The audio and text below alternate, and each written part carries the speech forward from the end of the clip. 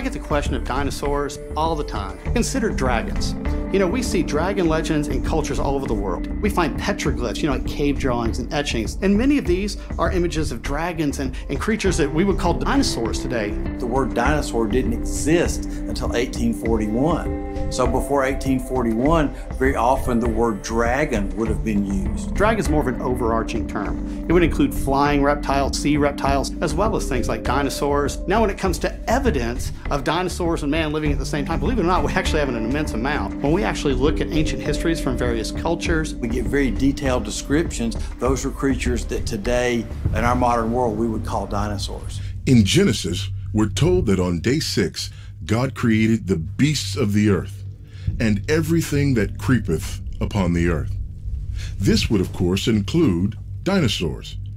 In the past, dinosaurs were simply known as dragons. Even as late as the early 1900s, dictionaries described dragons as now rare and a huge serpent. Not only do we find dinosaurs in cave drawings, carvings of figurines, and even in cultural legends from the not too distant past, but the Bible speaks descriptively of creatures that sound like dinosaurs.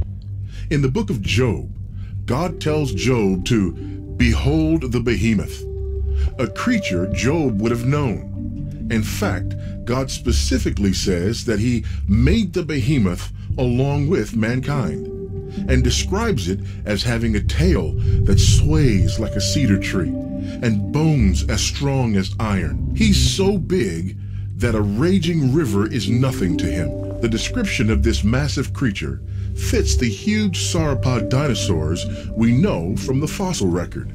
The Bible describes in great detail a creature that sounds just like a dinosaur thousands of years before paleontologists would rediscover and rename them.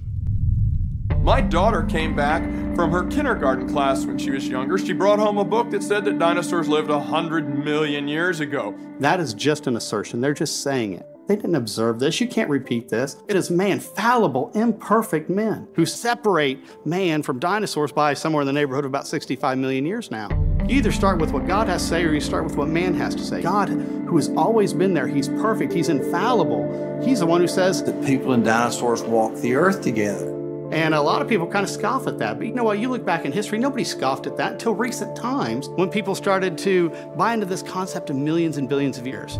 In 2005, Mary Schweitzer, a paleontologist and evolutionist, made the first popularized discovery of soft tissues in a dinosaur bone which include blood vessels and cells, DNA, and proteins, all of which decay quickly.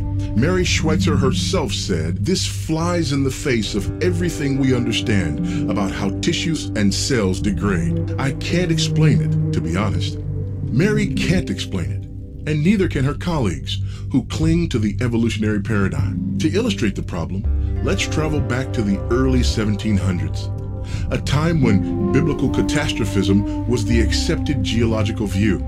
If people then found a dinosaur bone, or dragon bone as they may have called it, with soft tissue and remnants of blood still in it, would they be confused? Of course not. They would simply conclude this was a creature that died and was buried during or after the flood, within the past few thousand years. Now let's fast forward to today. Would people be confused to find the same thing in a dinosaur bone? Of course, many people would, because the evidence we find doesn't match the evolutionary timescale we've been conditioned to believe.